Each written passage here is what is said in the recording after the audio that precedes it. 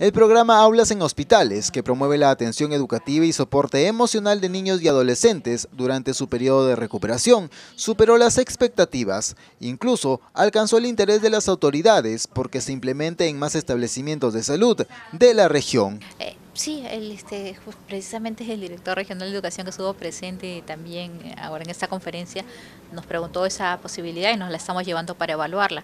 pero también comentarles eh, que estamos muy contentos porque desde el año pasado esta política, el Ministerio de Educación lo ha recogido como una política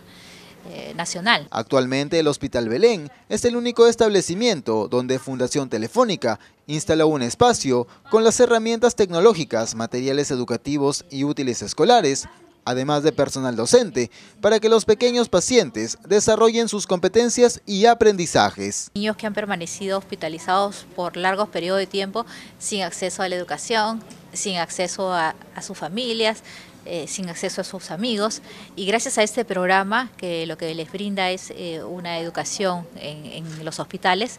eh, han podido tener contacto con ellos, han podido recuperarse más pronto. En ese sentido, los responsables de esta institución llegaron a nuestra ciudad para presentar el compendio denominado Hablas en Hospitales, la historia del proyecto, libro que refleja esta apuesta por una educación inclusiva. A nivel nacional, se beneficiaron más de 50.000 niños y adolescentes.